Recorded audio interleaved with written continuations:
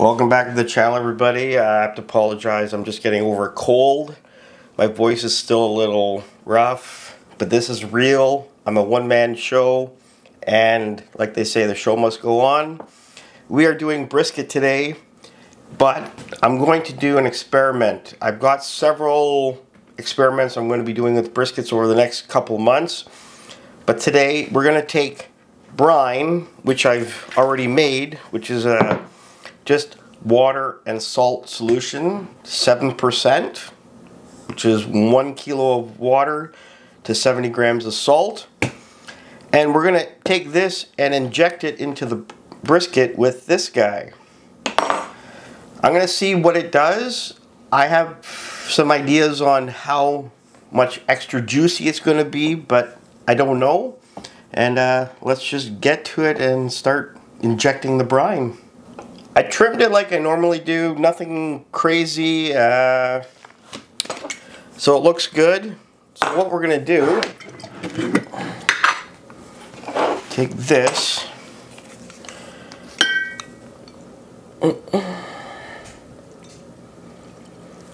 And you will see there is liquid. And what we're gonna do, probably every inch or so, just systematically in like a grid pattern, just put some in, and uh, away we go.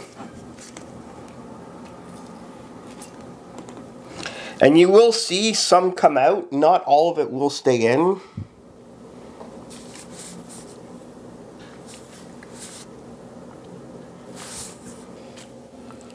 I really think the flat end will benefit the most because it's uh,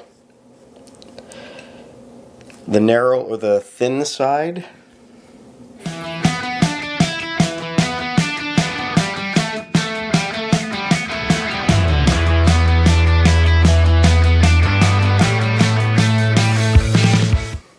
Okay, we're done. You see there is some liquid here. Uh, that's always going to happen when you're doing this.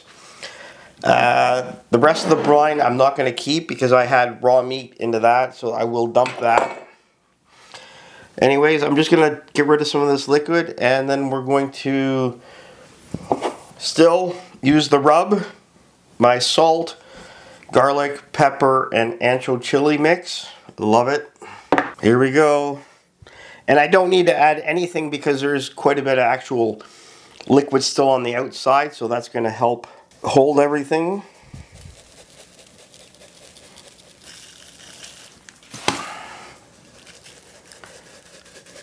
There we go. That looks good. I've got the smoker started already, so let's go outside and uh, put this in the smoker. Yes, welcome outside. Smoker's going. I don't know if you noticed, but since I'm not using the grill top today, I put some wood on top of that, and it's a great way to preheat the wood. Just a little tip. Put it here. Boom we are going to put the point end towards the hotter side.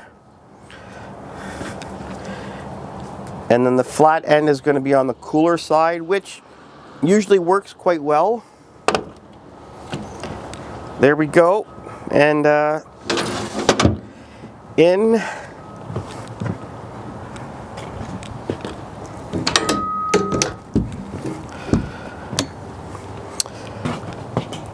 So I'm gonna do everything normal, what I, or how I cook a brisket. I'm gonna come back in a couple hours, check on it just to make, make sure it's going well. Keep that fire between 225 and 250. All my normal things. And then when I get up to about 170, 180, take it off, wrap it, put some tallow on, and then back on to bring it up to that 201 to 205. Let it rest so I want to keep everything the same that way and just want to see how much this brine actually helps make it juicier. I kind of made an executive decision and I uh, let it go for four hours and we're at the four hour mark now and we're going to take the first look and see where we're at.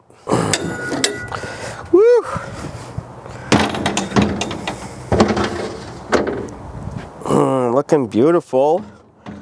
Still got a long way to go. Uh, so here we go. Sorry, I did take the temperature and it's at 139 Fahrenheit right now, so I still got a ways to go. But that's the, the brisket game for you. Okay, it's finally wrapping time. It's been on for seven hours so far. Looks beautiful, and let's get to it. For me, it's looking great, so let's just not waste any time. And this is always tricky when it's windy. Oh, empty. Perfect.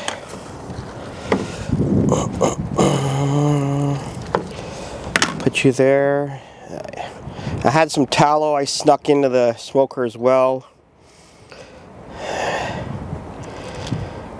Be quite liberal with this. Don't be shy.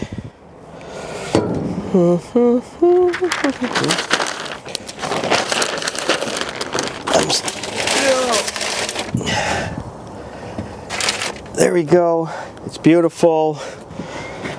And uh, next time you see me, it's going to be inside and we're going to slice it up. Okay, that's always the longest hour. Uh, so total cook time is like nine hours. And let's just dive in. But I want to do one thing. This cutting board, funny little story. I'm going to just tell you real quick. My brother and his kids were over at my mom's place for Christmas.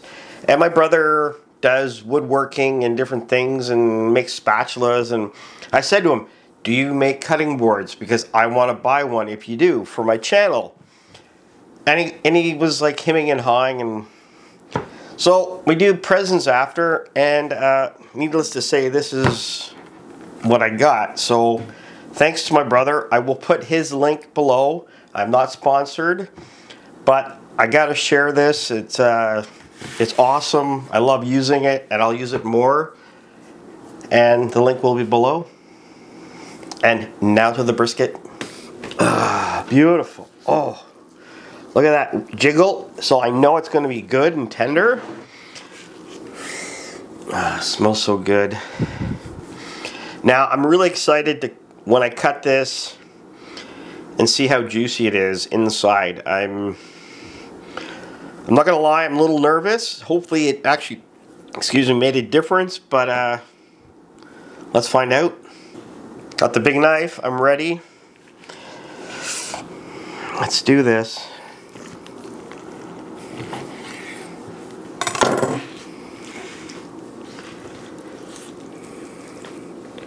Whoo! That is very juicy.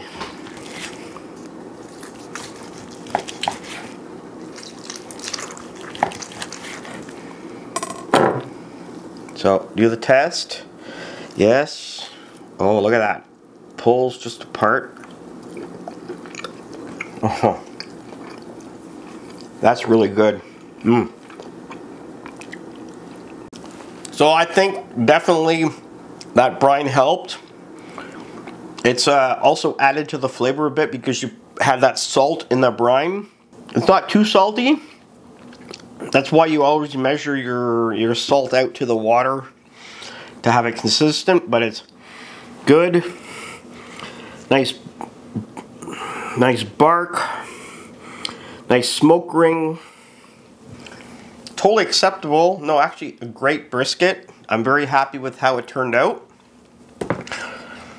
And now I gotta go dive in. So this little experiment, I think, went very well.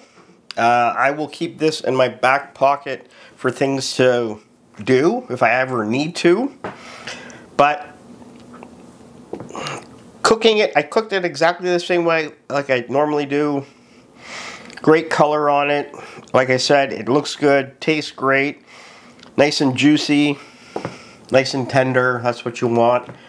Uh, I'm really happy. And uh, guys, thanks for watching. I will be doing more experiments with briskets, so in the coming months, like I said, uh, watch out for those, and hopefully my voice is better, and the cold is gone. But there, I gotta do what I gotta do. Thanks for watching and happy eating, everybody.